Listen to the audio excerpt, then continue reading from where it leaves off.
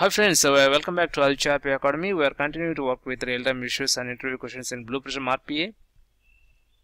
And the general issue regarding like Active Directory is when Blue Prism is configured for Active Directory for single sign-on and synchronize users functions is used when list of users does not update the update with the full list of users so who are members of the group or it is reported that specific members cannot be added the reason for this for the issue is the synchronized function will only check for the existence of users who are members of active directory groups which are part of the domain that was configured for single sign-on when Blue Prism was installed if the users are in groups which are in subdomains or in other domains then they will not be synchronized with Blue Prism. So in addition to that, the name of the domain specified in the user account, example, my user at the rate of mydomain.com must match exactly the name specified in the initial configuration.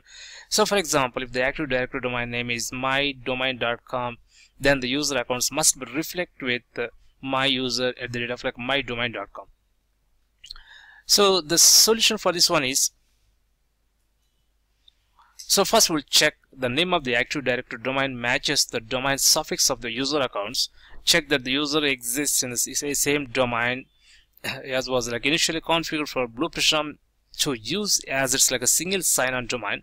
The current configured domain name can be checked by viewing like a setting in the single single sign-on area of like a system manager. Okay, thank you for watching. Please stay with us for more uh, interview questions in Blue Prism RPA. Thank you.